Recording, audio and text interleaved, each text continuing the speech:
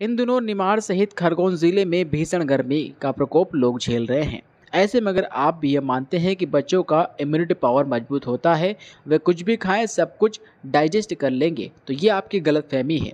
गर्मी के मौसम में बच्चों के खान पान का विशेष ध्यान रखना चाहिए। अन्यथा टाइफाइड डिहाइड्रेशन जैसी बीमारियाँ बच्चों को हो सकती है। ज़िले में पदस्थ डॉक्टर स्वप्निल श्रीवास्तव ने लोकल एटीन को बताया है कि ज़िले में गर्मी ज़्यादा है टेम्परेचर चौवालीस पैंतालीस डिग्री के आसपास बना हुआ है। ऐसे में माता पिता के लिए ज़रूरी है कि बच्चों को वही चीज़ें खिलाएँ जो सेहत के लिए फ़ायदेमंद हो और किसी प्रकार से नुकसान नहीं पहुँचाए।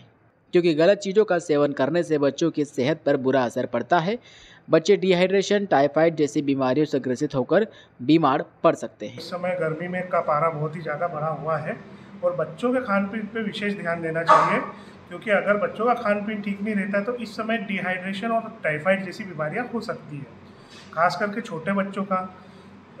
जैसे कि देखिए कि एज ग्रुप के हिसाब से कि जो छः महीने तक के बच्चे हैं, उनको मदर का मिल्क देना चाहिए छः महीने से जो दो साल तक के बच्चे हैं, उनको मदर के मिल्क के साथ सेमी सॉलिड फ़ूड भी देना चाहिए, है ना? इसके अलावा दो से पाँच साल तक के बच्चों को सेमी सॉलिड फ़ूड के साथ फ्रूट्स भी देना चाहिए, जिससे उनके अंदर पानी की कमी ना हो पाए इलेक्ट्रोलाइट्स का बैलेंस बना रहे।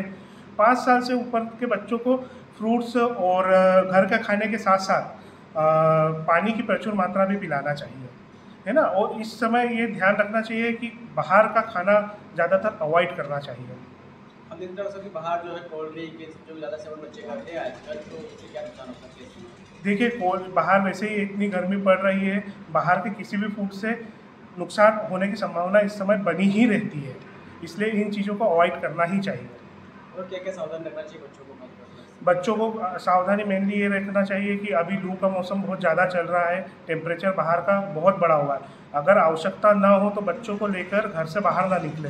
अति आवश्यक काम होने पर ही बच्चों को बाहर निकालें। आजकल तो जो महीना चल रहा है, इसमें बुखार में भी डिहाइड्रेशन हो सकता है, उल्टी दस्त में भी डिहाइड्रेशन हो सकता है। तो डिहाइड्रेशन का विशेष रूप से ध्यान रखना चाहिए।